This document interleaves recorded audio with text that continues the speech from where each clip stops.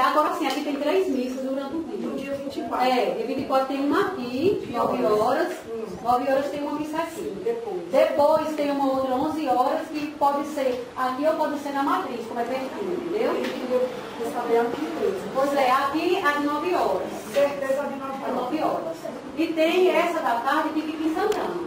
Agora aqui no, santuário mesmo, nós temos todo terceiro sábado às 3. Ou melhor, às 4. Todo terceiro sábado. Já não comporta mais a igreja campal, porque vem pessoas de outras localidades e assim, é, é, é muito bonito. Eu pensando assim, porque a gente tem de alunos, aí se houver essa possibilidade seria interessante, acho não, porque dá pra gente vir É. e voltar, né? Certo, tem duas perguntas, pode Ou não. É, a, a pessoa que, que fez a doação para a construção dessa capela, ele é brasileiro e qual foi o intuito dele? Na realidade é assim, quando a gente, quando a gente fez a primeira, a primeira Romaria em 2004, que a gente conseguiu colocar um público grande, essa pessoa que quem puxou, é triste dizer, mas não fomos nós santanenses não. Bendito é daqui, mas a gente teve que ser impulsionado por um rapaz do Rio Grande do Norte para que a gente começasse a, a trilhar é, é, essa vontade de levar Benigno até os altares. Aí, o Guilherme Gomes Nascimento, ele está vereador do Rio Grande do Norte. E assim, foi ele que veio até aqui, foi ele que nos convidou para fazer uma comissão e foi ele que nos incentivou a fazer a celebração da primeira missa. E aí ela ficou ele mesmo, junto com a comissão, tentando conseguir um espaço para que a gente pudesse criar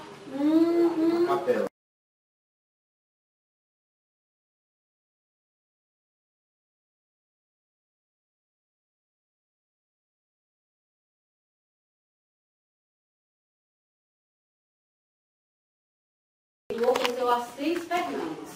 O Ari Gomes é o rapaz de Natal, que nos ajudou muito, foi que, que nos. Aliás, foi que nos incentivou mesmo. Inclusive, eu não sei se hoje, mas no tempo que eu tive o contato com ele, é, o número de fiéis de Natal do Rio Grande do Norte só aumentava a cada ano. Continua é vários homens. Ele sempre vem com caravanas, Sempre vem. viu? Sempre vem com caravanas. Por sinal, ele vai estar marcado que vem com caravana seu também. Sim. A senhora pode me dizer quais são os nomes do pai dela? O nome do pai é José Cardoso, o nome da mãe é Tereza Maria da Conceição. Obrigada.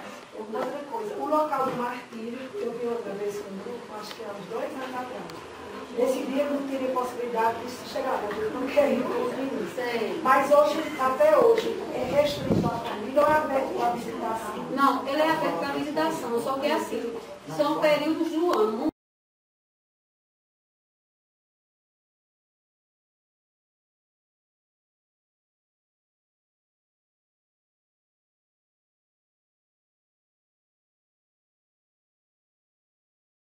Cirineu, ele entrou na polícia não tinha propósito de ficar frente com o Raul e essa morte. E ele ficou. Só que assim, ele não teve coragem de vingar a morte. Um colega de farda dizia que quem ia vingar a morte era ele.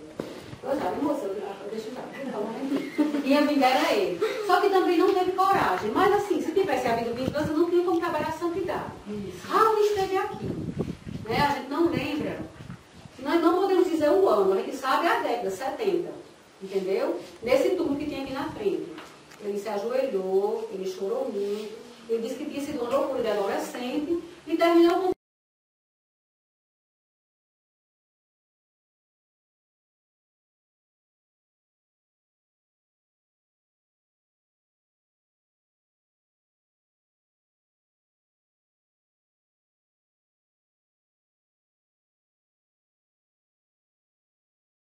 Benigno. Benigno foi enterrado no cemitério de Santana, mas quando, em 2012, a gente mandou a primeira documentação para o Vaticano, para a Congregação da Casa dos Santos, uma das exigências de lá é que a gente fizesse a exumação do corpo e que a gente também tentasse